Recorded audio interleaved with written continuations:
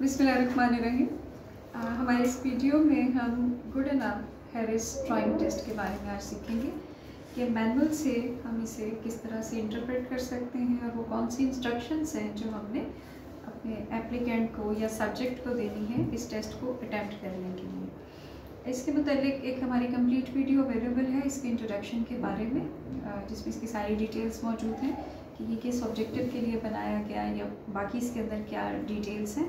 अभी मेरा फोकस सिर्फ़ ये होगा कि मैं आपको ये बता सकूँ कि अगर आप इसे कंडक्ट कराते हैं तो आपको किन चीज़ों का ख्याल रखना चाहिए और उसके बाद अगर आप इसकी मैनुअल से इंटरप्रिटेशन करते हैं तो वो आपके लिए किस तरह से फ़ायदा मंद हो सकती है। एक चीज़ इसके ज़िम्रे में मैं लास्ट में आपसे मैंशन कर दूँ कि एक्चुअली ये इंटेलेक्चुअल मेचोरिटी फाइंड आउट करने के लिए या मैयर करने के लिए डेवलप किया गया है और ज़्यादातर हम इस पर फाइव ईयर्स से फिफ्टीन ईयर्स तक की एज के चिल्ड्रन को या एडल्ट को एडोलिसेंस को चेक करते हैं।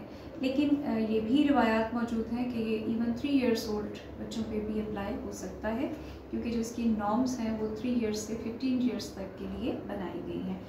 आपने जो सबसे पहली बात इंपॉर्टेंट है, जो आपने अपने सब्जेक्ट को या एप्लीकेंट को या पार्टिसिपेंट को देनी है, वो ये है कि उसको एक कंफर्टेबल जगह पे बिठा दें। थोड़ा सा लंबा टेस्ट तो ज़रूरी है कि बच्चा कंफर्टेबल हो जहाँ आप उसे बिठाएँ। और उसके साथ आपने उसको ये फॉर्म इंट्रोड्यूस कराना होगा। अगर आप देखें तो ये पहला जो इसका पोर्शन है, ये डेफिनेटली साइकोमेट्रिक पर्पस के लिए है साइकोमेट्रिशन के यूज़ के लिए है, जो टेस्ट को इंटरप्रेट करेगा उसके इस्तेमाल के लिए है। यहाँ से आपने उसको ऑफ़र करने हैं पेजेस जहाँ पे पर्सन ने परफॉर्म करना है। हिदायत इसकी बहुत ही सादा सी है कि आपने जो भी एप्लीकेंट है उसको कंफर्टेबली बिठाना है और उसको एक लेड पेंसिल देनी है। जो लेड पेंसिल है, सिर्फ़ उसी से इसको सॉल्व कर सकता है। पहली पिक्चर जो है, वो उसने एक मैन की बनानी है। एक मेल फिगर पहली पिक्चर पर ड्रॉ करनी है। और उसके बाद जो सेकंड पिक्चर है, वो एक फीमेल की या एक वुमेन की बनानी है।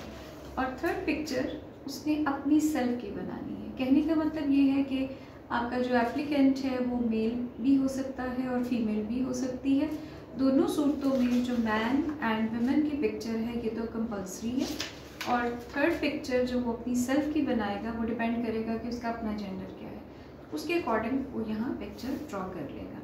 अब क्योंकि ये बच्चों के साथ आप टेस्ट कंडक्ट कर रहे होंगे तो एक बहुत ही नेचुरल सी बात है कि वो आपसे इसके बारे में क्वेश्चंस पूछेंगे कि ये हमने ड्राइंग कैसी बनानी है, कैसा हो मेल कैसा हो फीमेल कैसी हो।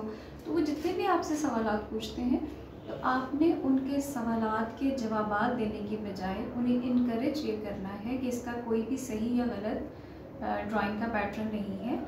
जो आपको अच्छा लगता है या जो आप समझते हैं कि एक मैन की ड्राइंग कैसी होनी चाहिए, आप वो बना दें। या एक वुमेन की ड्राइंग कैसी होनी चाहिए, आप वो बना दें। तो आपने खुद से उसके सवाल को जवाब नहीं देना। वजह उसकी ये है कि अगर आप उसको जवाब देंगे तो एक ख़ास अंदाज में आप इन पिक्चर्स का स्केच बना रहे होंगे, जो कि ऑब्जेक्टिव नहीं है जो इस टेस्ट का। तो आपने उसको पूरा टाइम देना है। इसके लिए कोई टाइम लिमिट्स नहीं है मौजूद। जितना भी एप्लीकेंट अपनी मर्ज़ी से टाइम लेना चाहे, जितना वो कंफर्टेबली इन पिक्चर्स को बनाना चाहे, आपकी तरफ़ से अप्रिशिएट अप्रिशिएट होना चाहिए। जब वो ये पिक्चर तीनों कंप्लीट कर लेता है तो इसके बाद अब आपने एक्चुअली इंटरप्रिटेशन करनी है इन पिक्चर्स की इस मैनुअल की मदद से।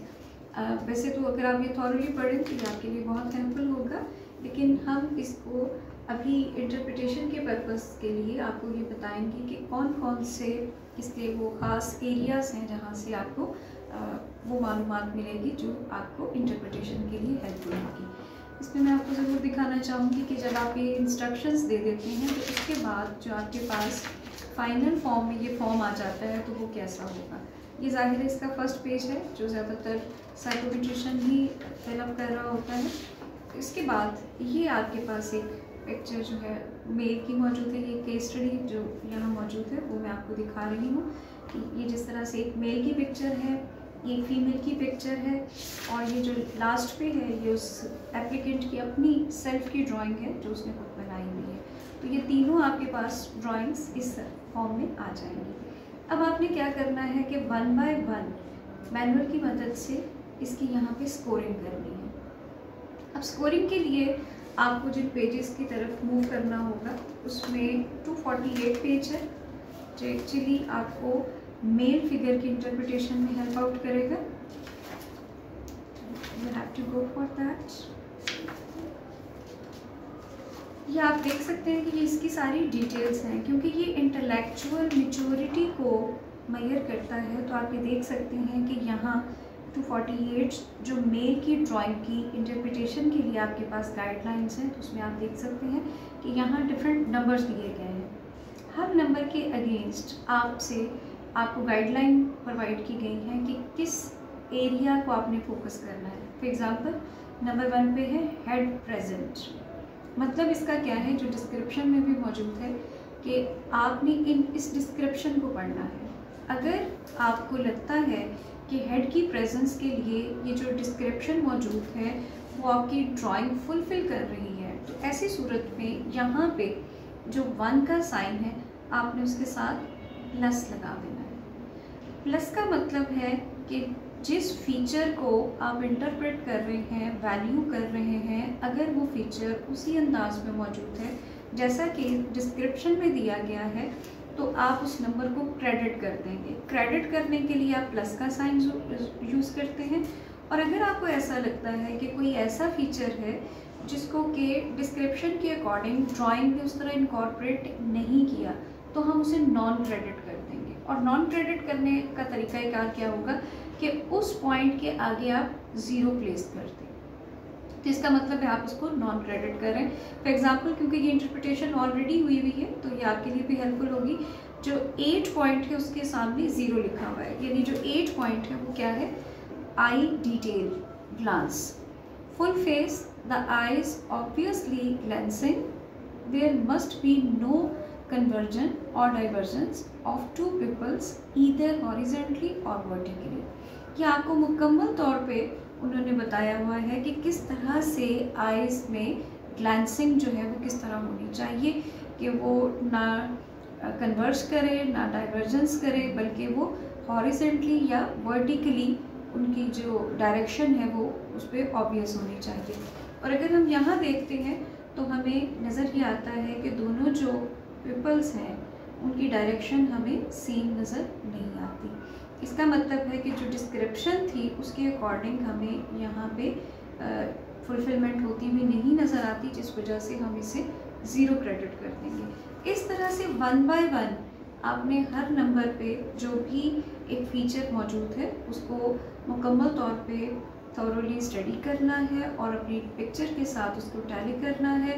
अगर वो एज इट इज़ मौजूद है तो क्रेडिट करना है, अगर मौजूद नहीं है तो उसको नॉन क्रेडिट कर देना है।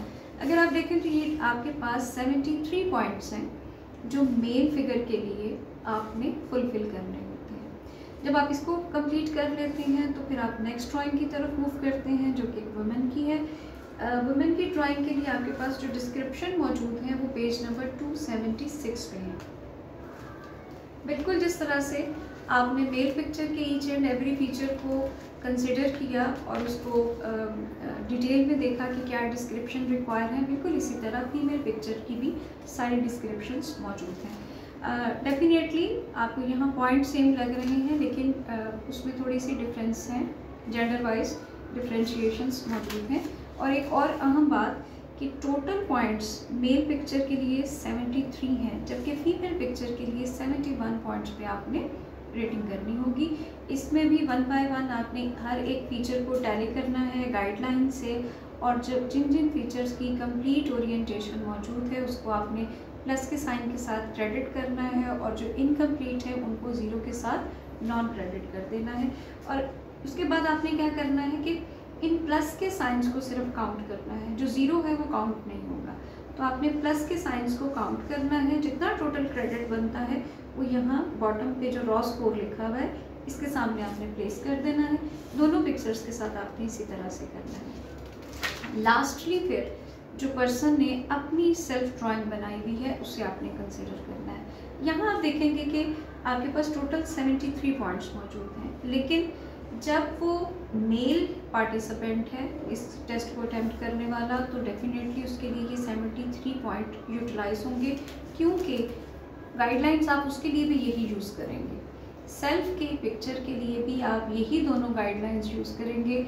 अगर आपका पार्टिसिपेंट मेल है तो आप मेल वाली गाइडलाइंस यूज़ करेंगे। अगर फीमेल है तो आप फीमेल वाली गाइडलाइंस यूज़ करेंगे। और उसमें उसी तरह से आप जज कर रहे होंगे, जैसे आपने पहली पिक्चर में किया है। क्रेडिट भी उसी तरह से दे रहे होंगे और नॉन क्रेडिट भी उसी तरह से कर रहे होंगे। बस फ़र्क सिर्फ़ ये होगा कि अगर फीमेल है तो उसकी 71 पॉइंट पे आप एवेल्यूएशन कर रहे होंगे, अगर मेल है तो 73 पॉइंट्स पे आप उसके फीचर्स की एवेल्यूएशन कर रहे होंगे। उसके बाद आपने यहाँ पे भी जो प्लस के साइंस हैं, उनको काउंट करना है और यहाँ बॉटम पे उसका रॉ स्कोर ड्रॉ कर लेना है। अगर आप इसके अंदर प्रोफिशंसी हासिल कर लेते हैं आप इसको क्विकली इन तमाम चीज़ों को गो थ्रू कर लेते हैं और विद प्रैक्टिस आपको, आपकी फिंगर टिप पे हो जाती हैं तो इस मैनुअल में इसकी एक शॉर्ट की भी दी गई है, जिसमें कि जल्दी से आप इन पॉइंट्स को पिकअप कर सकते हो और उसके बेसिस पे फर्दर इसकी एवेल्यूएशन कर सकते हो। और वो page number two seventy five पे है। यहाँ इसकी आप शॉर्ट की देख सकते हैं टू नाइन्टी फोर सॉरी 294 पे आपके पास इसकी एक शॉर्ट की अवेलेबल है। या देख सकते हैं कि यहाँ सिर्फ़ आपको जो डिफरेंट बॉडी पार्ट्स हैं या फीचर्स हैं सिर्फ़ उन्हीं की डिटेल दी गई है उनके साथ डिस्क्रिप्शन नहीं है। अगर आप समझते हैं कि आपकी कमांड हो गई है तो आप इस पेज को यूज़ कर सकते हैं और क्विकली आप क्रेडिट या नॉन क्रेडिट कर सकते हैं इन पिक्चर्स को। अब इसके बाद जो फर्दर आपका प्रोसेस है वो आपने इस फॉर्म को फिलअप करना है। इस फॉर्म को फिलअप करने के लिए भी आ, वैसे तो ये one of the simple test है कि इसकी बहुत ज़्यादा डिटेल्स नहीं है लेकिन आपने इसको करना क्या होगा कि सबसे पहले आपने ड्राइंग के अकॉर्डिंग जो आपने रॉ स्कोर्स कैलकुलेट किए थे मैन का रॉ स्कोर आपने यहाँ लिख देना है वेमन का रॉ स्कोर यहाँ लिख देना है, और सेल्फ का रॉ स्कोर यहाँ कर देना है। एक और अहम बात कि जब आप ये दोनों ड्राइंग्स के रॉ स्कोर्स को लिख देते हैं तो फिर आपने उसको एवरेज आउट भी करना है। इसको मैं आपको थोड़ा सा एक इसका ग्लांस इसकी सॉल्ट एक एग्जांपल में दे देती हूँ। आपके लिए आसान हो जाएगा कि आपने इसे लेके कैसे चलना है। फॉर एग्जांपल जैसे अभी जिस केस को हम देख रहे थे, उसमें मैन का टोटल रॉ स्कोर था 37 और वेमेन का था 40 यानी 40 और उसके बाद सेल्फ का जो स्कोर था वो 42 था। आपने इसको इस तरह से किया कि इन दोनों का इंडिविजुअल स्टैंडर्ड स्कोर्स भी फाइंड आउट कर लिए और जो उसकी एवरेज आपने की, उसका भी एक स्टैंडर्ड स्कोर फाइंड आउट कर लिया। एवरेज स्कोर और परसेंटाइल रैंक ये दोनों ऑप्शन मौजूद हैं इंटरप्रिटेशन के लिए, ये दोनों स्टैंडर्डाइज कोर्स इसमें मौजूद हैं। लेकिन इस मैनुअल के अंदर थोड़ी सी शॉर्ट कमिंग है, वो इस सेंस में है कि जो इसके परसेंटाइल रैंक्स हैं, वो कुछ एरियाज़ के अवेलेबल हैं और कुछ के नहीं हैं। लेकिन स्टैंडर्ड स्कोर्स जो हैं, वो तमाम केसेस को केटर करते हैं। तो दिस इज़ एडवाइजेबल कि instead of going for percentile rank you have to go for your interpretation on the basis of standard scores तो वो आप ज़्यादा अच्छे अंदाज में उसको कर सकेंगे। इसके साथ बॉटम पे आप एक और इसका कॉलम देख रहे हैं एरिया देख रहे हैं क्वालिटी स्केल ये भी ज़्यादा डेवलप्ड फॉर्म में नहीं है। इसमें भी हमें कुछ एरिया में तो क्वालिटी स्केल नज़र आते हैं, जबकि दूसरे एरिया में क्वालिटी स्केल मिसिंग है। तो इसमें भी सजेशन यही होगी कि इंस्टेड कि आप इसको किसी केस में कंसिडर कर रहे हों और किसी केस में ना कर रहे हों, ज़्यादा बेहतर है कि आप क्वालिटी स्केल को भी इसमें इनकॉर्पोरेट ना करें। बल्कि स्टैंडर्ड स्कोर की बेसिस पे आप इसकी इंटरप्रिटेशन कर सकते हैं। जब यहाँ पे आप इसको प्लेस कर देंगे तो उसके बाद फर्दर जो आपने इसके स्टैंडर्ड स्कोर का टेबल है, आपने उस, उससे कंसल्ट करना है। जो स्टैंडर्ड स्कोर का टेबल है वो आपके पास यहाँ मौजूद है। और उसको आप यूटिलाइज कर सकते हैं। कि जिस तरह से तीन तरह की आपने इसमें ड्राइंग्स बनाई थी, या उसी की डिटेल यहाँ पे भी मौजूद है, अगर आप देख सकें drawing of a man by a boy अगर एक लड़का एक मेल की ड्राइंग बनाता है तो उसके लिए आप ये स्टैंडर्ड स्कोर का टेबल यूज़ करेंगे। ये कॉन्टिन्यूशन में आगे की तरफ़ चल रहा है, क्योंकि जैसे मैंने आपको शुरू में बताया था कि तीन साल से पंद्रह साल की उम्र तक के लिए आपके पास नॉर्म्स अवेलेबल हैं। तो ये रॉ स्कोर है जो आपके पास इस साइड पे वर्टिकली अवेलेबल है और हॉरिजेंटली आपके पास एज रेंजेस मौजूद हैं। आपने करना क्या होगा कि अगर एक मेल ने मैन की ड्राइंग बनाई है तो उसका जो रॉ स्कोर आया था, आपने उस बच्चे की कॉरस्पॉन्डिंग एज के साथ उसे इस फॉर्म में चेक कर लेना है। जैसा कि अभी हम जिस केस की बात कर रहे थे जिसको कि अभी हमने इसमें सारा गो किया है उसी को अगर हम बेस बना लेते हैं तो हमारे लिए उसको समझना आसान हो जाएगा। एक्चुअली uh, ये जो ड्राइंग है ये एक फीमेल की थी नॉट मेल लेकिन हम सपोज़ कर लेते हैं कि अगर ये एक मेल ही की ड्राइंग होती तो हमारे पास 37 स्कोर था और 8 साल बच्चे की उम्र थी। तो फिर हम ये कर रहे होते कि इस 37 स्कोर को you can see this is the 37 और इसको हम कॉरस्पॉन्डिंगली देख रहे होते एट ईयर्स में। तो ये आपके पास स्टैंडर्ड स्कोर आ जाता। इस स्टैंडर्ड स्कोर को आप यहाँ लिख देते। अब क्योंकि ये टेबल है by boy a man picture और इसी तरह से आपके पास एक सेपरेट और टेबल आएगा, जो कि है man picture by girl this one और इसमें अगर आप देखें कि 37 स्कोर पे अगर 8 साल बच्चे की उम्र है तो आपके पास क्या एक स्टैंडर्ड स्कोर हासिल होता है? दैट इज़ 110 और इसके अकॉर्डिंग आप इसमें प्लेस कर रहे होंगे। इसी तरह से फर्दर फिर आपको जो करना है, वो ये है कि जो नेक्स्ट पिक्चर थी वेमन बाय बॉय यहाँ पे भी आप रॉ स्कोर को कंसिडर करेंगे। और उस रॉ स्कोर के कॉरस्पॉन्डिंग जो बच्चे की उम्र थी, उस कॉलम में आप उस स्पेसिफिक वैल्यू को देख लेंगे। जैसे यहाँ हमारे पास 40 रॉ स्कोर था और 8 साल बच्चे की उम्र थी तो उसके अकॉर्डिंग हमारे पास ये स्टैंडर्ड स्कोर आ जाता है। तो इस तरह फिर आप उसको एवरेज आउट करके अपने पास लिख सकते हैं और इसी तरह सेल्फ को भी आप इंडिकेट कर लेंगे। अब यहाँ जो समझने की बात है, जो आपके पास एक सिंपल इसकी गाइडलाइन है कि इसमें एवरेज है 100 अगर आपके पास बच्चे की स्टैंडर्ड स्कोर 100 से अबव आता है तो फिर हम ये कह सकते हैं कि वो इंटेलेक्चुअल मेच्योरिटी में अबव एवरेज है। 100 से कम है तो वो इंटेलेक्चुअल मेच्योरिटी में एवरेज से बिलो है। जितना 100 से अबव जाएगा हम उतना ही कह सकते हैं कि दैट पर्सन वो जो चाइल्ड है, जिसके हम ये टेस्ट कंडक्ट कर रहे हैं, उसकी मेंटल मेच्योरिटी उतनी ही ज़्यादा होगी जितना कि उसका स्टैंडर्ड स्कोर 100 से अबव आ रहा होगा और वाइस वर्सा और जितना कम आ रहा होगा, उतनी उसकी मेच्योरिटी लेस कंसिडर की जाती है। This is a very simple kind of test इसमें आपको कोई बहुत लंबी डिटेल में रिपोर्ट लिखने की ज़रूरत नहीं है, बल्कि इसमें आप सिंपली जो है वो उसकी इंटेलेक्चुअल मेचोरिटी का, की वैल्यू फाइंड आउट करेंगे और उसको आप डिफाइन कर देंगे। थैंक यू सो मच अगर आपका कोई भी इसमें कंसर्न हो क्वेश्चन हो तो आप हमें कमेंट कर सकते हैं और श्योर हम आपको इसका रिप्लाई करें